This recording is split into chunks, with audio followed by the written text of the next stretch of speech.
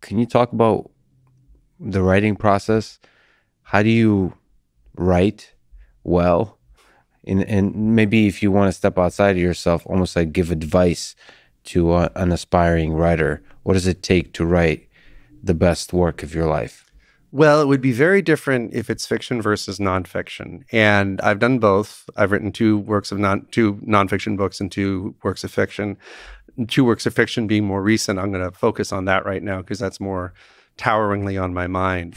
there are amongst novelists, again, this is an oversimplification, but there's kind of two schools of thought. Um, some people really like to fly by the seat of their pants, and some people really, really like to to outline, to plot. Mm-hmm. You know, so there's plotters and pantsers, I guess is one way that people look at it.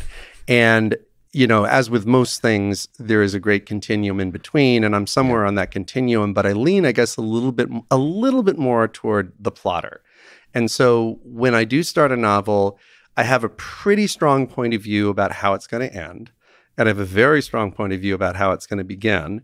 And I do try to make an effort of making an outline that I know I'm going to be extremely unfaithful to in the actual ex- execution of the story, but trying to make an outline that gets us from here to there and notion of subplots and beats and rhythm and different characters and, and so forth. But then when I get into the process, that outline, particularly the center of it, ultimately inevitably morphs a great deal. And I think if I were personally a rigorous outliner, I would not allow that to happen. I also would make a much more vigorous skeleton before I start. So I think people who are really in that plotting, outlining mode are people who write page turners, people who write, you know, spy novels or, you know, supernatural adventures, where you really want a relentless pace of events, action, plot twists, conspiracy, etc. And that is really the bone. That that's that's really the you know the skeletal structure. So I think mm-hmm. folks who write that kind of book are really very much on the the outlining side. And then I think people who write um, what's often referred to as literary fiction, for lack of a better term, where it's more about you know sort of aura and ambiance and character development and experience and inner experience and inner journey and so forth. I think that group is more likely to fly by the seat of their pants. And I know people who start with a blank page and just see where it's going to go. I'm a little bit more on the plotting side. Um, now, you asked what makes something, at least in the mind of the writer, as great as it can be. For me, it's an astonishingly high percentage of it is editing as opposed to the initial writing. For every hour that I spend writing new prose, you know, like new pages, new paragraphs, stuff that, you know, new bits of the book, I probably spend I mean, I wish I I wish I kept a count. Like I wish I had like one of those pieces of software that lawyers use to decide yeah. how much time I'm going to doing this that. But I would say it's at least four or five hours and maybe as many as 10 that I spend editing.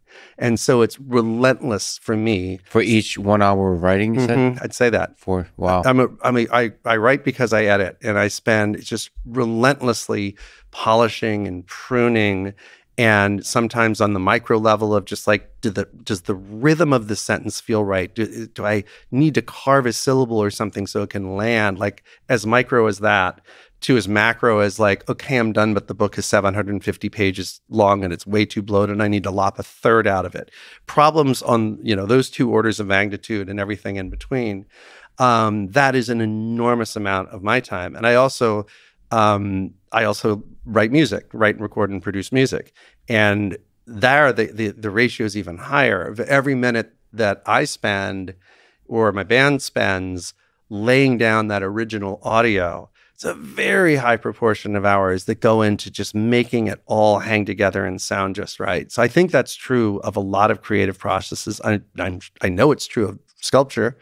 Um, I believe it's true of woodwork. My dad was an amateur woodworker and he spent a huge amount of time on sanding and polishing at the end. So I think a great deal of the sparkle comes from that part of the process, any creative process. Can I ask about the psychological, the demon side of that picture? in the editing process, you're ultimately judging the initial piece of work and you're judging and judging and judging. Uh, how much of your time do you spend hating your work? How much time do you spend in gratitude, impressed, thankful for how good uh, the work that you put together is? Um, I spend almost all the time in a place that's um, intermediate between those, but leaning toward gratitude. I spend almost all the time in a state of optimism that mm. this thing that I have, I like, I like quite a bit, and I can make it better and better and better mm-hmm. with every time I go through it. So I spend most of my time in a state of optimism. I think I, I personally oscillate much more aggressively between those two, where I wouldn't be able to find the average.